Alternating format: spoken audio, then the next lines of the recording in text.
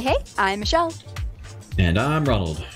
And you're listening to the Middle School Ministry Podcast. Michelle, how was that video I just sent you? Oh, Ron, this is one of my favorite things at the moment. this is hilarious. So, another youth pastor buddy of mine, since we're all like uh, COVID quarantined, uh, was like, hey, you got to check out this app. It's called Sway. And it turns anyone into a fantastic dancer because I am not a fantastic dancer. I but that video mm. I like to pretend I am and so this is just going to blow everything out of the water. I'm so excited. So like you you either put the camera like on a flat surface somewhere and you get like stay in this square box and you just move your body around a ton of different ways and then it will take that one it's like a 30 second video and it can turn it into like 30 dances. It's hilarious. Oh i we're gonna have to do something with this. Like we're gonna have to start some sort of page or DYM oh, yeah. post with people's I'm thinking you can, thing. Oh totally. And then you can like you could get uh like your leaders to do it or like your middle school students. And then you could vote. Oh and then you could vote on your next youth group live of who had the best one that could be fun that could be really fun. There you go. Oh my That's gosh. what you do. Because your students are bored. They need some levity. They need some fun. Students are bored. You might be bored. I'm kind of bored. Are, we are all definitely bored. Michelle, if you're not bored yet, you're going to become bored. Because you've been you've been doing this for a month. Yeah, we've been we've been at a month now. Question: Can you uh, can not, you like not fully quarantined, but can you like go outside for a walk? Like, does that count? You can, yeah. So they, they let you like go outside, let you like we can. I mean, no one's like watching us or anything like that, but yeah, we, we like went to the park, um, and like played basketball for a second. Me and my husband. Um, so you can go on oh. walks. It's just you have to try and keep that social distancing. Um, so mm. still staying six feet apart from people. Um, I mean, anytime we go in or outside, like we're washing our hands, um, yeah. and doing all that good stuff. So there's there's definitely this like feeling of you probably shouldn't go out, but everyone's like, we need to go out. mm-hmm. So yeah, it we've so it's just been like a week since they've been starting to shut stuff down uh, here in Texas in San Antonio, and like we've gone out to the park a couple times, like as a family, just to kind of like move our bones, as we yeah. say. That's what, was, especially uh, you know, yeah, you guys with kids, like yes, that three you kids get out of the house, right? Yes, because if they stay cooped up in the house all day, it gets bad. It yeah. gets bad fast. And I, I'm like, I would talk to a couple of families in like San Francisco. There's not a ton of backyard space or things like that, and so a lot of them that live in apartments, they're like, we just send our kid to the street. wow. We're like, go to, the, go to the, yeah. We're in the 80s now, where you just send your kids outside and say, yep. just come back in when the, when the street lights come on. That's the yep. thing. It's, it was great. I was like, good. I don't think that's going to be a bad thing. No, absolutely not. Because uh, it's so hard. It's hard when all the things that you're used to doing, you can't or you can't do. You're being asked not to do, and yeah. a lot of that is like connection. Like, oh yeah, I normally go to the gym like every. I go to the gym five days out of the week. Oh and wow! I have some buddies who I see at the gym, and it was just like one day the gym was open, the next day gym is closed. Nobody can go inside. Oh yeah, even so like our apartment gym complex, like they were like, yeah, no. Oh man. But so yeah, like, I was talking to my friend Katie, and we are like, we love like going to coffee shops and stuff, and we're like, we can't even do that. Like that was like our one mm. time of like being able to be around people and yeah, just be outside, and we're like, oh, so I'm gonna go wave to my neighbor from our porch. Hey, over there. Yeah. So okay, Michelle, what are you doing then to stay connected? Uh, in COVID quarantine life, like with middle school students, with leaders, with other people? Like, what are you, what are you, what are you doing? Yeah, this is. I mean, this is definitely a learning concept. Um, for me, I think for a lot of people right now is what do we do? Um, and so one of the big things that we're trying to utilize is you know social media platforms, Instagram, uh, Twitter. Uh, I'm contemplating on downloading Snapchat right now. Uh, oh, no. I've not been a big fan of Snapchat, but I know so many of our students are on it. So it's come to that. It's come to it's come to that point. Uh, but yeah, I think Instagram has been one of our biggest things. Just texting students and saying, "Hey, how are you?" Um, yeah, has been really big. Um, I, have championed all of my leaders to uh, contact their students at least once a week outside of Tuesday meetings, um, so that they're at least getting some sort of communication with their students. Um, but yeah, it's been it's been difficult. It's been really hard. How, how have you guys been able to to at least start that process? Yeah, no, we've been. Um, it's been a start of telling leaders, like, hey, try to be connected somehow. Mm-hmm. Uh, so, like, hey, like, try to, you know, try to text a student, try to uh, email a student. Actually, one of the things that um, high school pastor said he was going to do, which I think is great, is he just said, I'm going to sit down, I'm going to write notes for like 10 minutes. Mm. Just handwrite notes and That's mail That's a really good idea too. Because you keep those, you keep those, um, you keep those handwritten notes. Yeah. That's a thing. Oh yeah. I still remember like getting something in the mail, especially as a student or as a kid. Like you don't get mail. And so when you actually do get mail, it's pretty fun. Yeah. And so, so handwritten notes is definitely a thing. We actually, we had prizes uh, I saw something on you guys literally emailed or uh, literally mailed? put the in the mail. Yeah. That's so amazing. we gave away we gave away things on our YouTube live and we put stuff in the mail. That's amazing. Um, I love I, I like that. Yeah. Yeah, I saw a couple so, other people that were like, "Hey, we're going to send a pizza to your house right now." hey, no, that's a good idea. Like deliver and I was like, food. "That's hilarious." So like, hey, the small group that does this, here's your, you know, you can do a food. Yeah, no, that that's a really fun idea. So like yeah. trying to implement the things that are still open and allowed. Yeah. Yeah, and, and that's the uh, hard thing for us, like because small groups can't even be together right now. So small groups are yeah. all meeting through, you know, Zoom, Google Hangout, Google Meet, whatever platform you use. Uh, and of course, you know, quality isn't always great on video chatting stuff. So that's when I think it's key to make sure we're talking to students outside of that um, and really being able to talk with them one on one of, hey, how are you actually doing with all of this? Yeah, because even just asking that question, how are you today? Yeah. Or even how are you right now? Like when this, when we were getting ready to do our first like Zoom online hangout, like I just got a hold of all the leaders and just said, hey, how are you? You yeah. know, and there was some who were like, oh, I'm so stressed because work and yada, yada, yada. And yeah. there, I had a couple who were like, no, I'm good. I'm fine. Nothing's wrong. I go, oh, okay. right. They're like, yeah, we're chilling. Like, oh, cool. And okay. Basically, but you, you know, our students are going to run the same gambit of emotions. You're like, you're going to have some students who this is the worst thing ever because they can't see their friends. Right. Yeah. And then you're going to have other students who are like, yeah, you know, it's fine. I'm yeah. just on YouTube and I'm playing video games all day long. Right. You're like, cool. So you've been doing this your whole life, anyways. Yeah, yeah right. Nothing has literally nothing has changed. Yeah. But yeah, I think that that's one of the hard things is as it gets more and more secure, where it's like, hey, you don't leave your home. Um, I think it's just going to get harder and harder to to keep connecting with students, unfortunately, and yeah. we have to put in that extra effort of actually going in and making the calls. Like I, I used to be able to go and meet with like three or four students and hang out with them at a time. Whereas now it's okay, I have to call each and every individual student, remember that they're still in school. Mm-hmm. So they're still going to be doing schoolwork. So I don't want to like mess that up.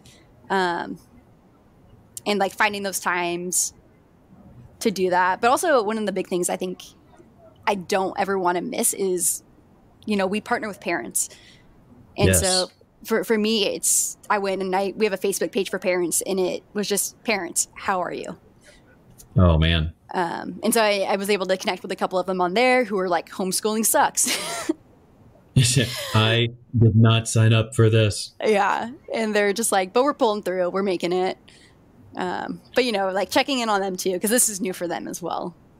Yeah. I literally, yesterday was my day off yesterday and literally just sat down for about an hour and a half trying to figure out all the apps that my kids' teachers are sending them. Me. Yeah. Like, okay, So uh, we got a this app for this kid and these two for these over here, and maybe we can do it this way. And right. do we just you need to go pick up the physical paper packet? And so, oh man, it's just been nuts. Yeah, I I just can't like because we don't have kids or anything yet. I'm just like blown away by how much you guys are doing and like man, you guys are doing amazing things. Uh, like trying to to pull all of this stuff off while you know taking care of kids, trying to teach your kids, trying to yeah, parents are overwhelmed, right? Like your kid, yeah, our kids sure. are overwhelmed and our parents are overwhelmed. I think. Well, Ansley Higginbotham had a great, great post. Oh my on, gosh, I loved her post. Yeah, on on the youthgroup.downloadyouthministry.com website, which tons of free stuff. If you need help with anything, put it up there. If something has worked well for your youth group, put it up there too. Uh, yeah. Huge, huge, huge that's going on. But she just had a quick reminder of like, hey, youth pastor, it's okay. If you need to slow down, yeah, parents need to slow down too. And so just a great reminder for everybody of like, hey, it's good to connect, it's good to innovate, it's good to challenge, mm-hmm. but also take an opportunity to rest. Yeah. Like take an opportunity to sit and reflect and think. It's not a bad thing. Yeah this and is so, not going to be over next no. week. Like this is this is a long haul and and this is where we really have to come and be the church and um, be a help and not a burden. Yeah. To, to families i think. and and we have a great opportunity to yeah. do that. And so i think if we if we do it well um, I think if we do it well, we could end up on the other side of this more connected mm-hmm. than we are right now, and have maybe a plan or a better strategy for staying connected. Totally. I think yeah, like with having so many apps now and having different ways of connecting with our students, like I don't think that's going to go away once this is all over. Like I think no, as, and, as a church, we have to figure out how to utilize this now and after. Yeah, like even even we were thinking, hey, do we is it time for our youth group to get a Discord channel because that's something that we can do to like I don't I don't know what that is, but I'm doing I, research on it. Somebody was one of my students was telling me about Discord and I was like, I don't know what this is. But to it's like a, old school app, old school chat room oh. that's like oh. dedicated dedicated for and uh, used a lot by gamers because I think you can still be chatting while you're playing a game. I don't I don't understand it all. I'm just going to go research it a lot this weekend. oh, for sure. That's interesting. That could be that could be something. So yeah. Another, another potential another potential way to reach out to your students, but also moderate that chat room oh, because Oh yeah. because your you know, your students feel like they can say anything, which is good and also bad. Right. Like every yeah, yeah and that was you know, one of the things that we were teaching right before all of this was our sex and dating series, and so we had to pull back on that because uh, it was just super awkward to do over a YouTube live stream. Like I wanted to make sure that I was in person with my students, and we had just right before it got to the um, series that we were going to talk about. Hey, what we do um, behind a screen online, and I was so yeah. bummed we didn't get to that because I'm like, this is literally where we're at. Is all they're all on right now is a screen, and how they act behind the screen is gonna do a lot of damage or hopefully potentially give a lot really of hope. Good. But uh, hopefully the second option, not the yeah. first one. Yeah. No, and you're and you're right, and it still character still matters. You know, even even though we are apart, you know who who you portray is mm-hmm. still important. Who you, who you tell people you are, it still matters. So yeah. Those are good lessons good lessons to learn. I don't really you're you're taking a break from the sex series? Because i was we are. about man hmm. Yeah we just didn't feel comfortable doing it through that. We really wanted it to be face to face yeah. Are you guys now are you guys still pushing through? I don't know so I, I, technically we're going to record this sunday. We're going to record a message for this sunday like just a 10 to 15 minute hey this is this is basically your sunday youth message. Yeah. Um, it's not going to be live. It's just going to be uploaded on sunday so it doesn't conflict with our main service. Yeah. Um yeah now that you're now that we're talking about this i'm kind of i don't maybe i want to do more like of a character uh yeah. character thing this, so this is one of the main reasons why we decided and i think this was really smart what my my generation's pastor told us this and he was like you're going to talk about porn to a Yeah. screen where your sixth grader is watching and can easily open another tab in Google porn. You're not wrong. Yeah. And I was like, that's a really good point. That's the easiest access Yeah. to literally have them go and do that right now. So that was Okay. one of the main reasons where we were like, you're right, we should probably pull back on this. Okay, I'm gonna do something different. I mean, hey, if, yeah, I mean, go for it, try it out. Um, Well, that, that's one of the benefits. I was like, it's, I know it's just going to be like a 10 minute lesson. Like it's just going to be Yeah. a devotion almost, but it can still, yeah, okay. yeah. And that was one of the things we thought too. We're like, oh, we'll just pre record all these and then post them on YouTube so they can go watch them, but we'll do something different on Sundays. And even that, he was like, I just think that should be saved for when we can actually come back. I think you're right. So Yeah. um, I, tr- I trust him. He was my youth pastor. So I was like, I'm going to trust you. No, that's a good call. That's a good call. But it's even still even okay. So that's even connection, right? You're getting ideas from other people about what to do, and you're still talking. You're still sharing ideas. That's still has that's still important and something you can still do even from quarantine. Yeah, and I think more and more ideas are just going to start popping up. Uh, I mean, I Yeah. look at the the DYM channel on Facebook, and there's just so many people that have done really incredible things so far, and I'm like, oh, that's a really good idea. Yeah, I'm really encouraged by that. Yeah, Man. Okay. All right. Well, I'm gonna go think about what to do for our, series now that everything's gotten crazy. Literally, I was just trying to survive until this Wednesday when we did our first live stream. that live was stream, that was us. And we were like, what do we do? We're like, we don't know. not a clue. We're So we're just going to get up there and we're going to do something, Yeah, yeah, yeah. You're right. and that's okay. Some and that's okay. Like if that is your guys' week coming up, and you're like, I just need to start, just be up there. Yeah. And honestly, you could just have an entirely fun morning or recorded a video of you guys just having fun, playing some games. Like our students love watching our leaders make fools of themselves. Mm. And Yep, so right. if that's what you need to do for the first one, do it. And Make then it you happen. can can set up a plan. And go from there. Yeah. Oh man. Okay. Well, goodness. Um, I hope that you who are listening out there are remain remaining connected. Hey, and maybe this is time you reach out to other youth pastors in your local area. hmm Uh, Huge. do a Zoom, Yeah. Zoom conference call with them. Figure out what they're doing. Maybe it's a time for you to get that rolling now because it's important to stay connected when we're all quarantined. It's a thing. Yeah, and don't be, don't be afraid to try different ideas to connect with students. Um, some Yes. students you're going to connect with differently than other students. Like I have a bunch Yeah. of students who aren't on Instagram, so I have to do something different for them. But I have a lot who will only answer me on Instagram. Mm. So, be it social media, mailing people stuff, or uh, starting a Discord channel, reach out to students. Make sure you're connected to them, to leaders, to parents. Don't lose that connection in this time of social distancing, right? Absolutely, but also protect yourself as well. You know, you don't have to be Mm. on there twenty four seven either. Ooh, block out that time. Yep. Yeah. Stay. You have to protect rest. yourself. Mm. Good words, Michelle. Yeah. All right, everybody. Stay strong. Wash your hands and uh, don't touch your face. It's the hardest thing to do. Out of Oh all this, not to touch my face, and don't bite your nails. That's what I heard too. Because I'm a nail Oh. biter, and they were like, "Don't bite your nails." Stop it, Michelle. I know. I need to go get like that nail polish that like people Oh, use on like their the bad kids. The bad, the bad tasting The one. bad, yeah, like the bitter tasting stuff. Yep, that's a thing. Back to back to childhood. Oh, and we revert right now. Yep. All right, everybody. We'll see y'all next week. Bye.